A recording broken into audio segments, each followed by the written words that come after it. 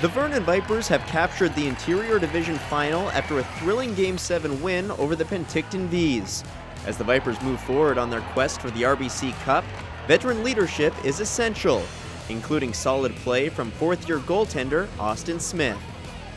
We need Austin to be as good as he was too in, in net and, and making those first saves. And in playoffs, that's what you got to rely on. Austin Smith grew up in Calgary, Alberta, and started skating at the age of three.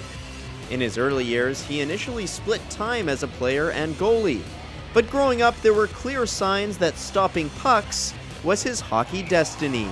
It's kind of weird. I started um, at my grandparents' house playing with backcatcher gear in the basement, and then I just, I just fell in love with the position and just started playing ever since then.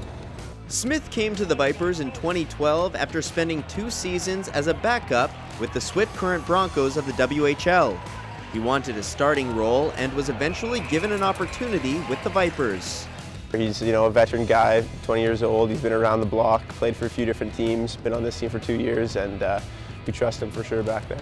I've always been told I'm pretty mature, for my age at least, so I'm kind of quieter, uh, not so much shy, but I just kind of keep myself a little bit. I'm not real loud or anything like that like some other guys are, but um, yeah, you know, I just do my thing and not try not to think about it too much. Like many goalies, Smith is a creature of habit and routine.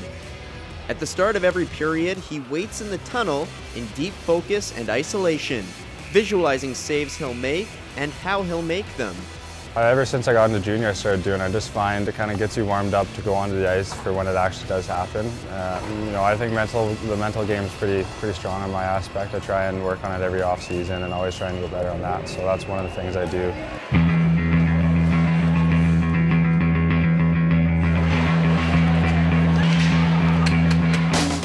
Though playing in his fourth year of junior, Smith is experiencing his first ever playoff run. And so far, so good. He's posted a record of 8 wins, 5 losses, including 2 playoff series victories with a 914 save percentage. For his team in front of him, he's provided a calming influence both on and off the ice. He's a guy that's pretty focused on hockey when he's around the rink, and, uh, and away from the rink, he's a guy that you can go to talk to if you have problems or, or anything like that.